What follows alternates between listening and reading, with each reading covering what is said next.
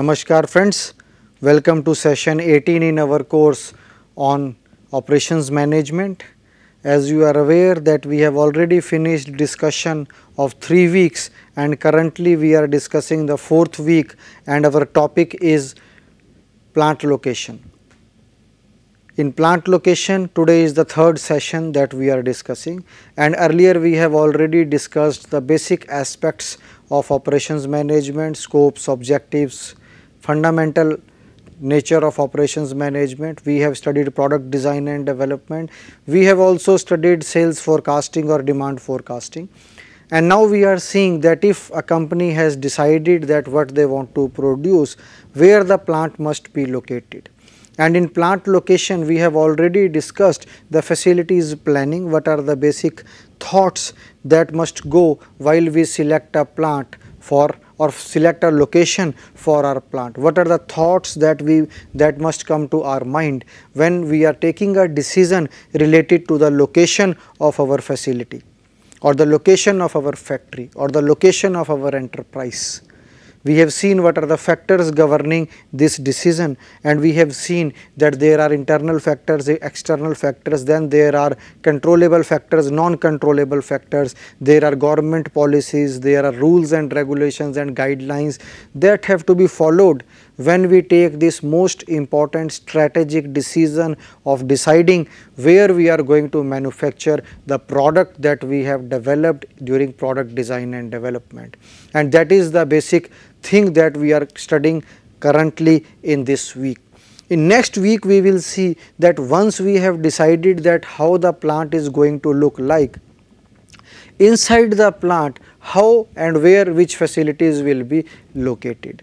Once we have decided the region where we are going to put our facility or the factory, within the factory which facility will be at which location? For example the residential quarters the manufacturing plant the air conditioning unit the grounds and the effluent treatment plant which facility is going to be located at which particular section? That is going to be discussed in next week and will fall under plant layout so currently we are discussing plant location that how we can decide that where we want to produce. And today's session is focused on case study of Uttarakhand.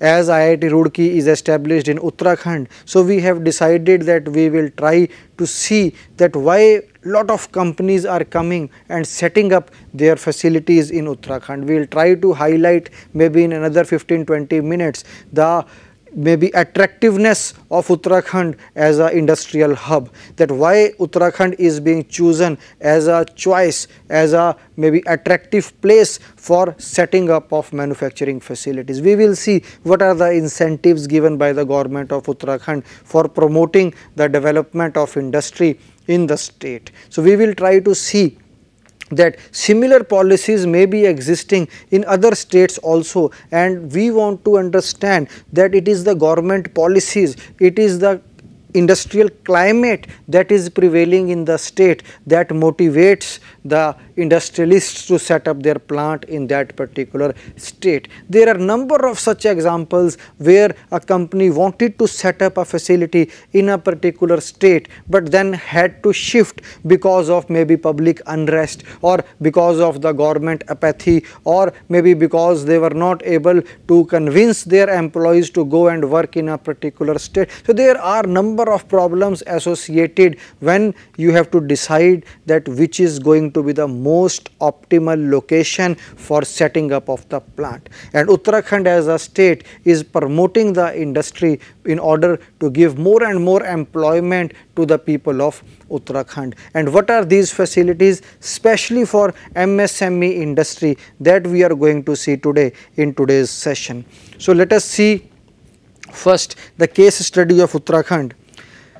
So, policies of Uttarakhand government directly we are starting from the policies the MSME the full form as I have just used the word or the notation MSME in the introductory part of today's session. MSME stands for micro small medium enterprise. So, we can say micro small and medium enterprises. So, we have developed at Uttarakhand a MSME policy that the government is going to support the industry focused on micro, small and medium sector enterprises. Then there is a special integrated industrial incentive policy which is commonly called as the hill policy. So, that is another policy which has been framed by the government of Uttarakhand in order to improve the facilities or the industry in the hill regions. Then central capital investment subsidy scheme. So, central capital investment subsidy scheme is another policy. Then related to ladies, you can see there is a Mahila Udyami Vishesh Protsahan Yojana. So, Mahila Udyami means for female entrepreneurs, there is a special package or special policy which is supporting them to uh, maybe start earning their livelihood, start small scale business at the village or at the town level and become self sufficient, self reliant as well as empowered. So, Mahila Udyami Vishesh Protsahan Yojana is another yojana by the government of Uttarakhand. Then Chief Minister Swarojgar, Swarojgar Yojana, there is also maybe self employment scheme also started by the government of Uttarakhand. So, we can see that there is a broad spectrum of schemes focused on improving the industrial health of the state in order to develop a industrial climate in the state. More and more people within the state can contribute to the industrial growth of the state with the help of these schemes as well as people from other states can come and take advantage of these schemes which have been launched by the government of Uttarakhand and can lead to maybe uh, more profit making enterprises because we will see in today's session there are other schemes also which are promoting the industrialists and entrepreneurs from all across the country for setting up their plants in the state of Uttarakhand. So, this gives the broader policies which are framed by the government of Uttarakhand in order to improve the industries in the state. Then there is another list of policies of the Uttarakhand government, freight subsidy scheme gadget, mega industrial and investment policy, startup policy. There is another policy government of India has also focused on startup, maybe startup India, stand up India. There is a policy by state go central government also. So, there is a startup policy by the state, purchase preference policy, mega textile park policy. So, textile textile park has been initiated. So, that is basically to improve the textile industry of the state. So, we can see that startup policy, purchase preference policy as the words are self explanatory purchase preference for purchasing preference will be given to the products produced in the state at least that is what I understand from this policy. So, we our target is to understand not the nitty gritties of each and every policy, but we are studying plant location and in that one important factor is the thrust of the government towards improving the industry and we can see that there is a long list of policies established by the government for improving the industrial health of the state. So, we may not be going into the each and every policy because each and every policy will have a policy document which may run into number of pages who is eligible, who is not eligible, what are the prerequisites, how you have to apply. So, we are not going to go into the nitty gritty of each policy, but we will definitely like to understand that what are the general policies which decide the location of a plant in a particular state or in a particular region. So, here we have seen two important maybe lists of policies specifically framed by the government of Uttarakhand. Then coming on to one policy, let us take an example that is the MSME policy. So, the government of Uttarakhand has sanctioned the MSME policy or maybe the framed the MSME policy 2015 for promoting investment in MSME sector. MSME full form we have already seen in the beginning micro, small and medium enterprises. So, in micro, small and medium enterprises the government is giving lot of thrust for setting up of these type of enterprises in the state. How they are doing it through investment promotion as well as to incentivize the MSME. So, government is giving lot of incentives to entrepreneurs, to industrialists, to businessmen who are setting up MS, who are setting up uh, the plants as per the MSME policy of the state. So, the policy aims at utilizing the local resources as Uttarakhand is a hill state there is lot of uh, maybe flora and fauna as well as the forest cover in the state. So, there can be a lot of forest waste that is developed in the state. So, the policy aims at utilizing the local resources. So, the resources may not be the material only, the resources can be the human resource also, the resources can be the infrastructural resource also. So, the policy aims at utilizing the local resources and to generate employment opportunities and promoting self-employment, skill development in the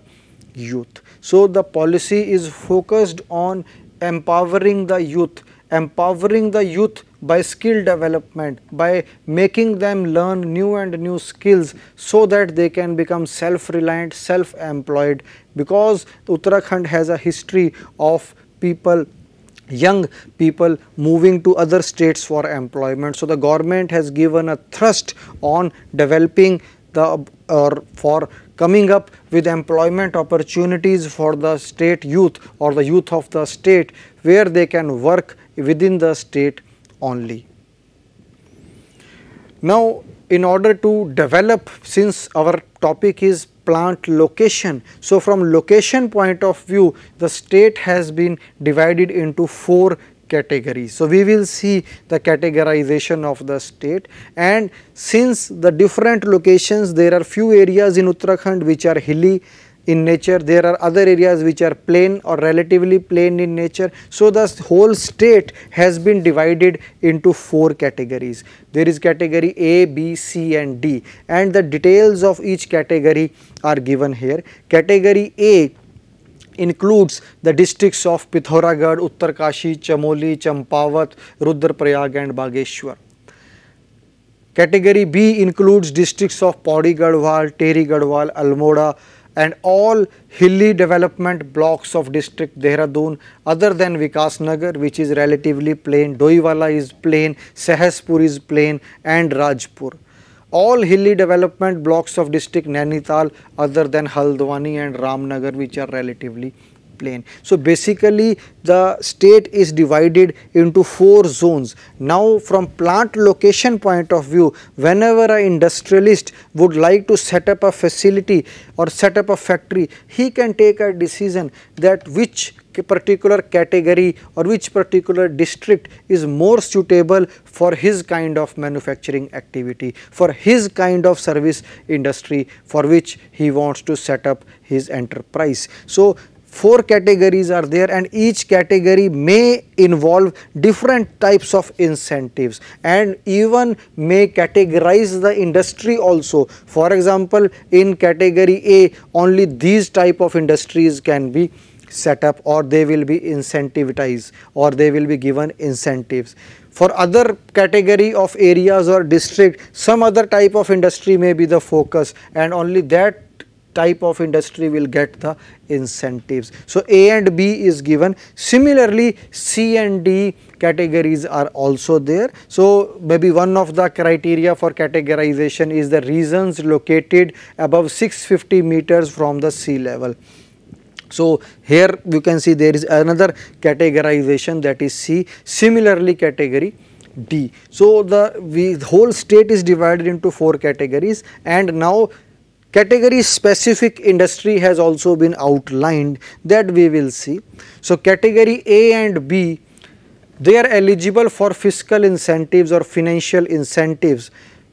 What type of industries can be set up in category A and B? So, if you remember in A and B we have outlined that few districts are in category A, few districts are in category B. Now, A and B are together here. So, A and B you can have non-polluting manufacturing enterprises of green and orange category. So, uh, there is a categorization of the enterprises. So, here we have seen two. So, we are not going into the categorization of the enterprise or the color coding of the enterprises, but we can see that non-polluting manufacturing enterprises are focus area in category A and B. Thrust sector industries as notified under special industrial package. So, there is a special industrial package which notifies that this is the thrust area, these type of industries we must develop in a particular area of the state.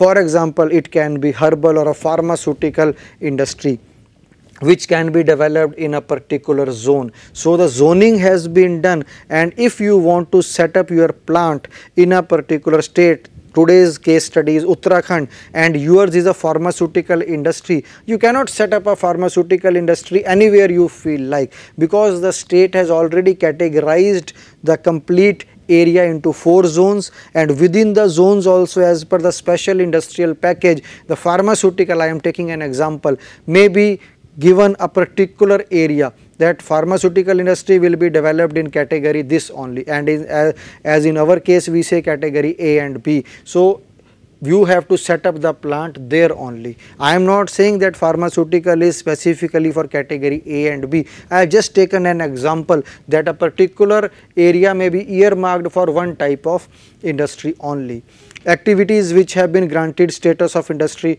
by the state government they can be set up in category A and B district. Biotechnology can be in category A and B areas. Protected agriculture and horticulture cold storage activities can be in category A and B. So it is for it is the it is making the life of the entrepreneur or the industrialist easy because suppose he wants to set up a cold storage facility it is very well known to him before he starts searching for the plant location that cold storage activities are being promoted in category A and category B areas of the state of Uttarakhand. So he can only focus on those areas and try to locate a site where the godown or the cold storage facility can be developed. So, in a way the government is helping the entrepreneurs or the industrialists in the in their process of plant location or finding out the exact location or optimal location where they can set up their facility. Similarly, petrol diesel pumping station gas godowns are also maybe in category A and B areas only or category A and B regions only only manufacturing activities shall be eligible in category C and D. So, we can see that biotechnology focuses in category A and B regions. Manufacturing activities are eligible for category C and D regions. Riverbed material based industries including stone crushers will not be eligible in entire state for any incentives. So, they have categorically mentioned that a specific type of industry will not get any incentives. Capital in investment made on transport vehicle exclusively for the purpose of transportation, marketing of raw material and finished good products shall be eligible for capital investment subsidy. So, there are different types this is one example which is on transport vehicles, but there are number of such examples where the capital investment subsidy is being promoted by the state of Uttarakhand. So, investment made on necessary additional construction, expansion, renovation or building whether you have you own that building or you have leased that building for a long period of time for conduct of enterprise will also be eligible for subsidy on capital investment so you get subsidized if you are doing some renovation or you are expanding the already existing facility. So, the government is supporting these type of activities in order to improve the industrial base within the state. There are number of fiscal incentives and concessions. We have seen two, three types of things we have seen that how the state is promoting the industry. They have different types of policies. Within the policies, we are focused on MSME sector only. Within MSME, we have seen the whole state is divided into four A, B, C and D regions and each region has been earmarked for a specific set of industry. So, apart from that, we have seen that they are giving capital uh, subsidies also. So, fiscal incentives and concessions concessions or other promotional uh, maybe schemes of the government in order to improve the industry. Some of the schemes are listed here. There is a investment promotion assistance that is capital subsidy is given by the government, interest subsidy is given, reimbursement of VAT which is very important these days GST has been implemented so the government has to relook and see that how they can implement or they can incentivize the industry through maybe some reduction in GST. I have no idea about that I am not an economist but maybe some relooking at the GST regime can be done. Then concession on stamp duty is another good incentive for the industry. Reimbursement of electricity bills, special state transport subsidy as we have seen that there, there is a capital subsidy on the transport of raw material as well as the finished good of uh, good from the industries within situated or located within the state of Uttarakhand. So, special state transport subsidy is available. Then coming on to the infrastructural support, we can see that there is an uh, establishment of a land bank, then infrastructural development fund has been created for MSMEs, then special industrial state estate for MSMEs has been created and establishment of new industrial estates is in the maybe offering for the people who want to come and set up their industry in the state of Uttarakhand. So, again I am reading it for you for better maybe at least few things can be there in our thinking process whenever we talk of plant location.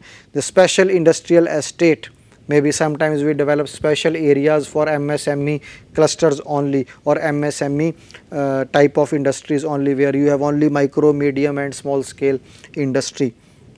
Similarly, industrial estates maybe as we have seen a textile park has been created. Similarly, new industrial estates can be identified and created. Maybe the government is promoting these type of activities where industries can set up. If you if you remember, I have discussed this thing in the earlier session also that whenever a big manufacturing unit is established, they may not be manufacturing each and every part that goes into their product for example, a car is being manufactured. So, the company may not be making each and every part, subcomponent or equipment that goes into the car. They will be maybe majorly involved in assembling the car. The ancillary units will be developing the parts or the components for the car. Similarly, whenever you have an industrial estate, there can be industries which are supplementing each other, which are complementing each other. So, there can be a um, there can be a product made by company A and there can be another product made by company B and A and B can combine and make a product C which is maybe uh, uh, a final or a end product which can go into the market. So, you have an industrial estate where different types of companies can be there or maybe same type of companies can be developed as a park maybe for example a software park where you have different software companies working together in different areas or different zones. Then establishment of multi-storied estate, upgradation of existing industrial state. So, there both the things are possible. We can the government is developing new industrial estates as well as the government is also focusing on expansion or renovation of the old or existing industrial estates also. Then establishment of vendor and ancillary parks as I have already told if we have a very big or maybe large scale manufacturing unit coming up in the state then the government is promoting the development of the ancillary units in the vicinity so that the transportation cost from the ancillary unit to the main plant can be minimized or can be optimized. So, the establishment of vendors and ancillary parks are coming up, government is promoting that type of setup. Then interventions under the cluster development scheme. Now, in cluster development scheme, government is focusing on the development of clusters. For example, Roorkee at one time was famous for the surveying equipment. So, coming up with the international challenge maybe the manufacturers are not able to match up with the products that are coming in the open maybe uh, market from the other countries also. So, maybe a cluster can be developed where a central facility can be created where we can have all the latest machines and equipment which can maybe help the industry to come up with the quality that is matching the quality being provided by the international players. So, that kind of cluster development approach is being promoted by the for the MSME sector by the government of Uttarakhand. So, that uh, cluster is able to match up the quality of the product being produced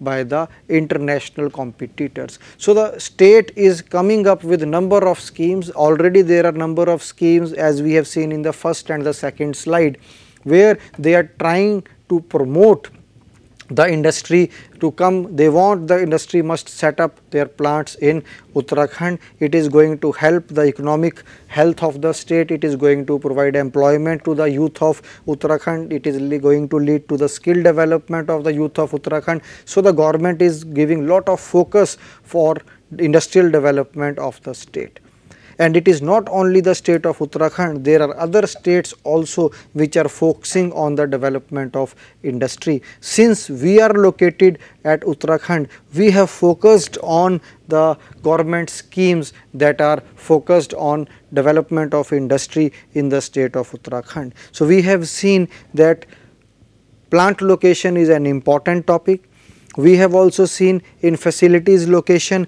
we focus on plant location and the plant layout. Within plant location, we have seen that there are number of factors that influence our decision related to the selection of a plant location. And in today's class, we have seen or in today's session, we have covered the case study of Uttarakhand and what are the policies the government is following in order to improve the industrial maybe belt of Uttarakhand. With this we conclude the today's session and in next session, next session we will focus on the theoretical aspects behind the plant location. Thank you.